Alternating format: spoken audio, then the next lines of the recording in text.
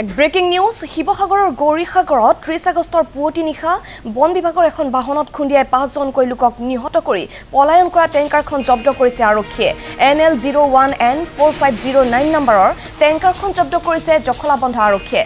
Jakhalabandha railway level ক্ৰছিঙৰ সমীপত অভিযান চলাই গ্ৰেপ্তাৰ কৰে চালক অনিল কুমাৰ যাদৱক। উল্লেখযোগ্য যে ঘটনা সংঘটিত কৰি পলায়ন কৰিছিল টেংকাৰখন। শিৱসাগৰৰ গৌৰীসাগৰত ত্ৰিছ আগষ্টৰ পুৱতি নিশা বন বিভাগৰ এখন বাহনত খুন্দিয়াই পাঁচজনকৈ লোকক নিহত কৰি পলায়ন কৰা টেংকাৰখন ইতিমধ্যে জব্দ কৰিছে আৰক্ষীয়ে। N L zero' one N four five zero' nine নম্বৰৰ টেংকাৰখন জব্দ কৰিছে জখলাবন্ধা আৰক্ষীয়ে। জখলাবন্ধা ৰেলৱে লেভেল ক্ৰছিঙৰ সমীপত অভিযান চলাই গ্ৰেপ্তাৰ কৰিছে আৰক্ষীয়ে চালক অনিল কুমাৰ যাদৱক। উল্লেখযোগ্য যে ঘটনা সংঘটিত কৰি পলায়ন কৰিছিল টেংকাৰখন।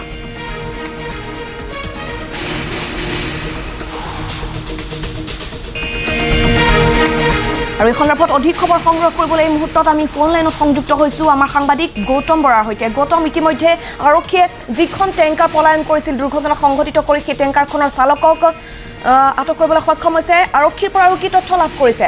গৌতম।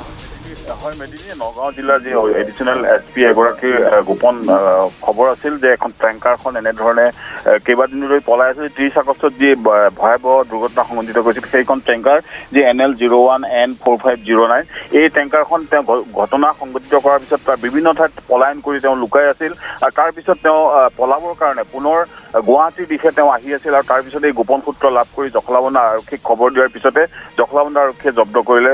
এই টেংকাৰখন জখলাবন্ধাৰ ৰেলৱে লেভেল ক্ৰছিঙৰ সমীপত। আৰু এতিয়া দেখা গৈছে যে তেওঁ চালকজনক তেওঁলোকে জেগা অব্যাহত ৰাখিছে যদিও এতিয়াও আৰক্ষীয়ে সবিশেষ তথ্য আমাক দিয়া নাই। কিন্তু কিছু সময়ৰ পিছত আমি সবিশেষ জানিম তেওঁ ক'ৰ পৰা তেওঁ কেনেধৰণে আহিছিল কেনেধৰণে দুৰ্ঘটনাটো সংঘটিত হ'ল আৰু এই কথা অলপ অলপ সময়ৰ পাছতে আমি জানিব পাৰিম। কিন্তু এতিয়া দেখা গৈছে যে টেংকাৰখন এতিয়া জব্দ কৰিছে। টেংকাৰখনৰ যি যিটো ছাইডত খুন্দা মাৰিছিলে সেই খুন্দা মৰাৰ ছাইডটোত দেখা গৈছে যে কিছু গাড়ীখন ভাঙি আছে আৰু তেনে তেনেধৰণে তেওঁ পলায়ন কৰিছিল। আৰু তাত থকা যি টেংকাৰ তেল আছিল সেইসমূহ ইতিমধ্যে তেওঁ ক'ৰবাত দি থৈ আহিছে বুলি কৈছে আমাক জানিবলৈ দিছে আৰক্ষীয়ে ফোন যোগে। আৰু পৰৱৰ্তী সময়ত জানিব পাৰিম যে টেংকাৰখনে কেনেধৰণে সেই দুৰ্ঘটনা সংঘটিত হৈছিল। মেদিনী। হয় গৌতম বৰা এই মুহূৰ্তত আপোনাক ধন্যবাদ জনাইছোঁ। পৰৱৰ্তী সময়ত অধিক খবৰ সংগ্ৰহ কৰিবলৈ আমি আপোনাৰ সৈতে পুনৰবাৰ সংযুক্ত হ'ম।